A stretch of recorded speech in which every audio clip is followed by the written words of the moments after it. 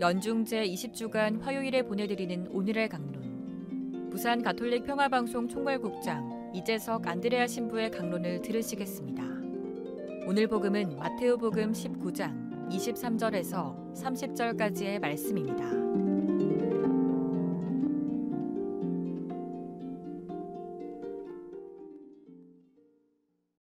그때 예수님께서 제자들에게 말씀하셨다. 내가 진실로 너희에게 말한다. 부자는 하늘나라에 들어가기가 어려울 것이다.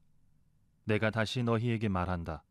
부자가 하느님 나라에 들어가는 것보다 낙타가 바늘구멍으로 빠져나가는 것이 더 쉽다.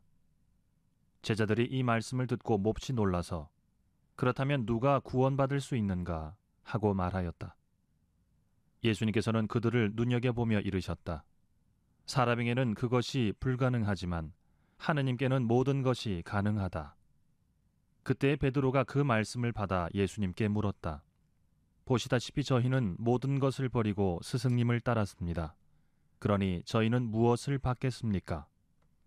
예수님께서 말씀하셨다. 내가 진실로 너희에게 말한다. 사람의 아들이 영광스러운 자기 옥좌에 앉게 되는 새 세상이 오면 나를 따른 너희도 열두 옥좌에 앉아 이스라엘의 열두 지파를 심판할 것이다.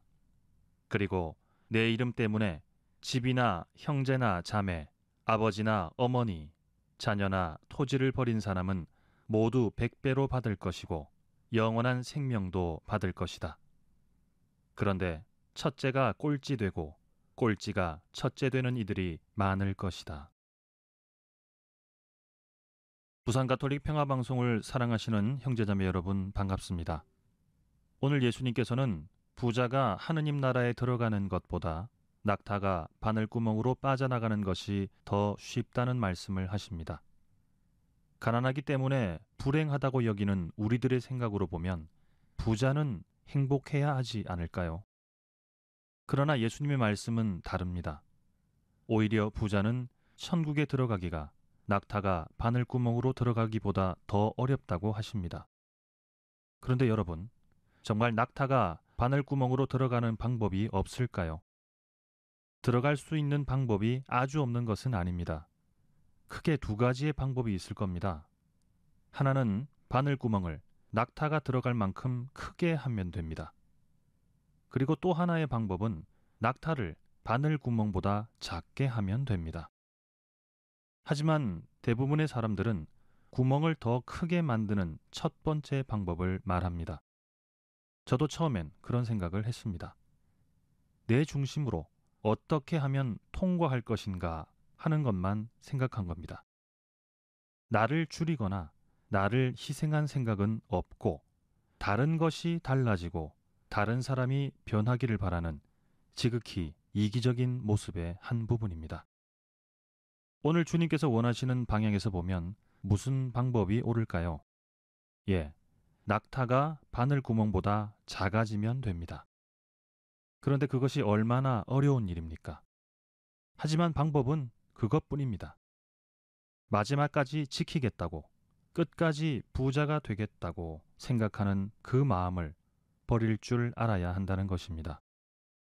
먼저 가진 삶을 살았던 사람은 그것을 버리기 위해 힘겨운 고통과 아픔을 견디면서 작아지고 낮아져야 한다는 말씀입니다. 그런데 이것은 사람의 의지만으로는 힘들기에 오늘 예수님께서는 사람에게는 그것이 불가능하지만 하느님께는 모든 것이 가능하다라고 하시지요. 예수님 시대에도 부와 권력을 가진 사람들이 있었습니다. 그들은 여러 면에서 자신들이 첫째 자리에 있다고 생각했을 것입니다. 부자와 귀족으로 살면서 이것이 영원하리라 생각하기도 했을 것입니다. 하지만 오늘 예수님의 말씀은 이 모든 것이 우리의 착각일 뿐이라는 말씀을 하십니다. 이 세상에서 돈과 힘이 있다고 하늘나라에서도 그것이 이어지지 않습니다.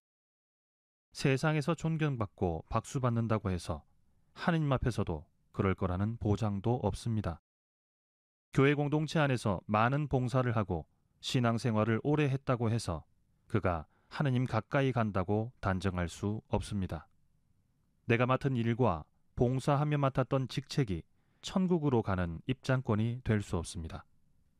우리에게 필요한 것은 얼마나 큰 능력이 있느냐가 아니라 주님 앞에서 하늘나라에 들어가기 위해 바늘 구멍을 통과할 수 있는 한없이 낮아지고 작아질 수 있는 마음가짐입니다. 내 이름 때문에 집이나 형제나 자매, 아버지나 어머니, 자녀나 토지를 버린 사람은 모두 백배로 받을 것이고 영원한 생명도 받을 것이다. 하느님의 뜻을 위해 버리고 비울 때 오히려 넘치는 은총을 받으리라는 오늘 예수님의 말씀을 여러분은 어떻게 들으셨습니까? 낮춤으로 높아지고 겸손으로 영광스럽게 되며 비움으로 채워지는 신비. 우리는 그런 하느님의 섭리에 기대고 살아가는 신앙인들입니다.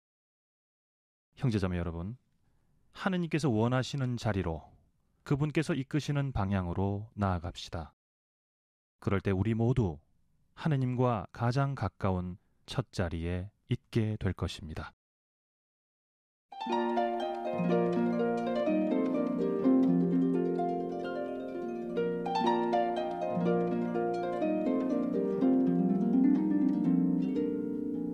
지금까지 부산 가톨릭 평화방송 총괄국장 이재석 안드레아 신부의 강론을 들으셨습니다.